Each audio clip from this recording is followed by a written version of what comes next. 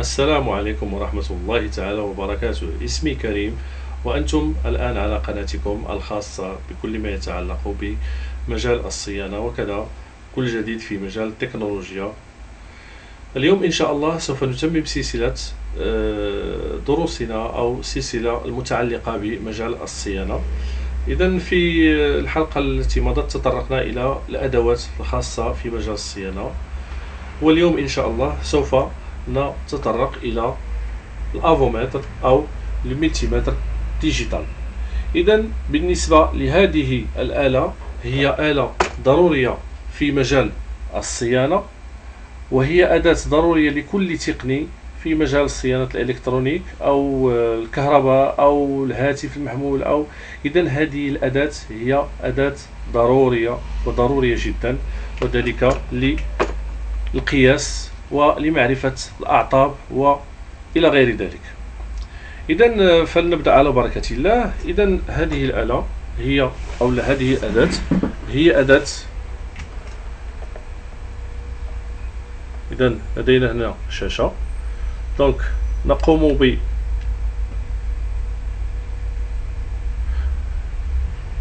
كما تلاحظون هنا لدينا عدة قياسات. سوف أشرح كل شيء أو كل جهة على حدة. إذا لدينا في بادئ الأمر. سوف تلاحظون معي هنا لدينا هاد المداخل إذا في أول الأمر المداخل التي تهمنا هنا هي هذا المدخل اللي هو الكوم والمدخل الآخر الذي بجانبه. إذا سوف نقوم بربط الكابل الأسود بالكوم من طبيعة الحال. إذا هذا هو كوم أو لا؟ السالب. وهذا هو الموجب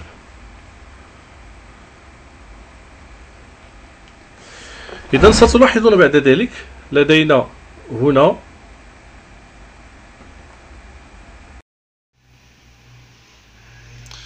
إذا بالنسبة لهاد وحدة القياس لدينا التيار المستمر وهذا التيار المستمر يمكننا من قياس أو هذا الجزء من الافومتر يمكننا من قياس التوترات المستمرة.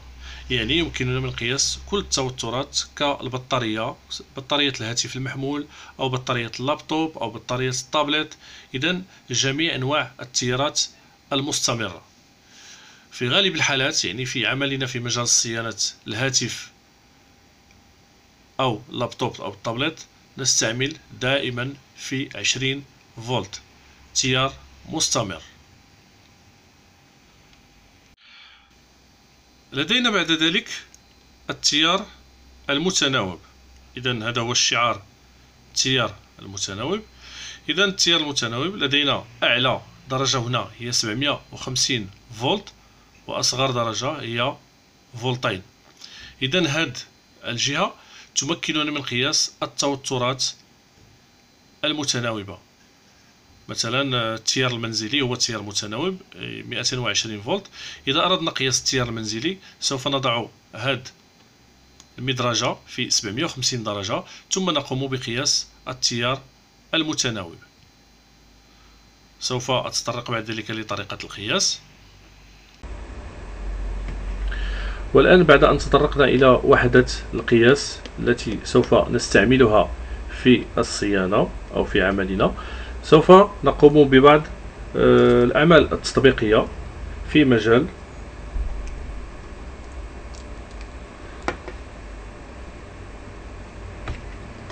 وذلك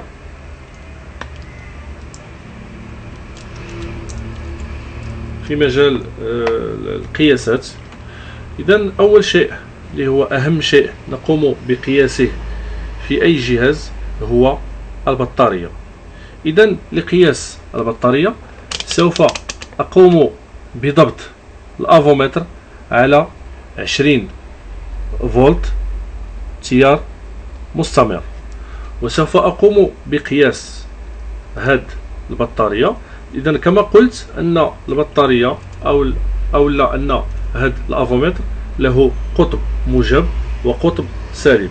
إذا سوف نقوم بربط القطب الموجب بالقطب الموجب وسنرى هل البطارية مشحونة أم لا. إذا تلاحظون معي أن هذه البطارية أعطتنا قياس 3.46 فولت. وهذه البطارية هي بطارية من فئة 3.7 فولت. إذا هذه البطارية شبه ما مشحونة. سوف نقوم بقياس بطارية أخرى بطارية هاتف آخر. إذا لقياس البطارية سوف تلاحظون أن لدينا هنا في البطارية زائد ثم الناقص. إذا هذا يدلنا على القطب الموجب والقطب السالب. إذا نربط الموجب بموجب البطارية. ونربط القطب السالب بسالب البطارية وسوف نرى. إذا هذه البطارية فارغة عن آخرها. سوف أريكم طريقة شحن هذه البطارية لأن إذا وضعناها في الهاتف وهي في هذه الحالة فلن يتمكن الهاتف من شحنها. الآن سوف نقوم بقياس هذه المقاومة أو ريزيستانس سوف نضع القياس في الأوم في أصغر وحدة ونقوم بالقياس. إذا هذه القيمة كبيرة. سوف نزيد بمقياس واحد. إذا تلاحظون هذه المقاومة هي مقاومة تقريبا تقريبا تقريبا واحد كيلو أوم. إذا هذه المقاومة هي مقاومة تسمى مقاومة الحماية. يعني آه، في غالب في غالب في غالب الضارات نضعها وذلك لحماية الضارة من آه، من التيار آه، التيار العالي شبه ما لدينا هاد الاستمرارية التي تحدثت عنها. إذا إذا قمنا ب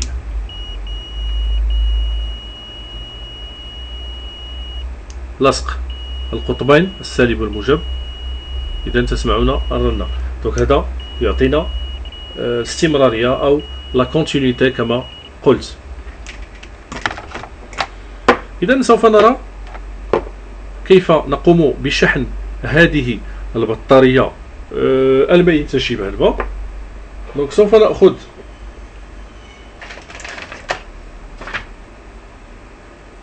سوف نأخذ شاحن عادي.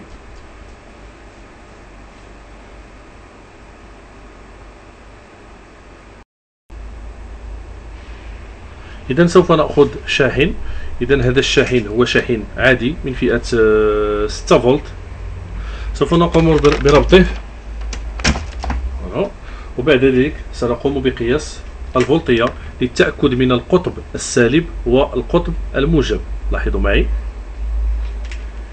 إذا هذا الشاحن أعطانا تسعة فولتات تقريبا. ولكن لاحظوا معي هذا الشعار هذا السالب الموجود هنا. يدل على أن هناك على أن هذه الأقطاب مقلوبة. سوف نقوم بقلب هذه الأقطاب.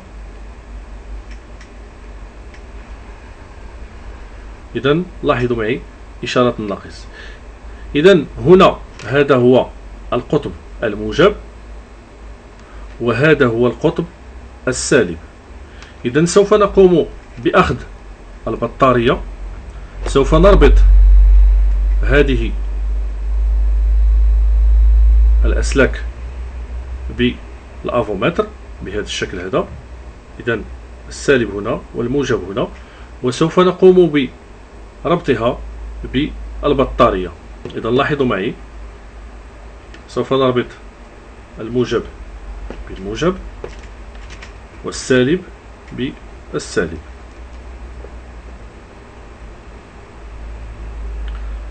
إذا تلاحظون أن الفولتية أصبحت ثلاثة فاصلة تقريبا أربعة.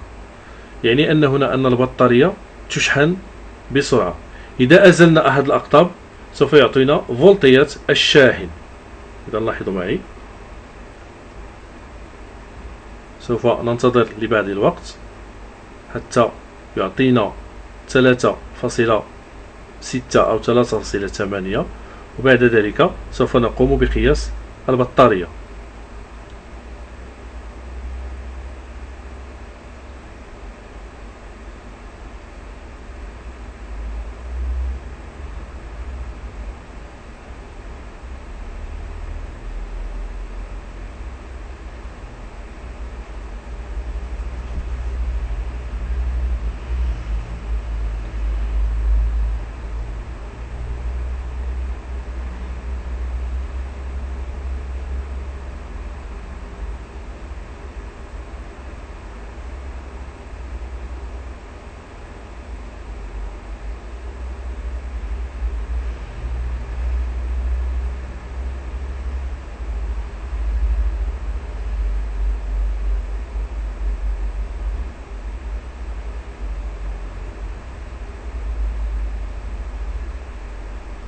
إذا الآن وصلت الفولتية إلى 3.6 سوف نقوم بإزالة أقطاب الشاحن. إذا تلاحظون معي سوف أزيلها تماما. إذا الفولتية يصير 0 فولت وسوف نقوم بقياس البطارية لوحدها. إذا تلاحظون أن البطارية قد شحنت إلى 3 تقريبا 4 فولت. إذا هذه هي الطريقة الصحيحة لشحن بطارية فارغة عن آخرها لأنه إذا كانت بطارية فارغة عن آخرها فلن نتمكن من شحنها آه، بشاحن والهاتف المحمول. إذا آه، أتمنى أن هذا هذا الدرس اليوم الذي كان متعلق بالافومتر قد آه، كان في استفادة كبيرة.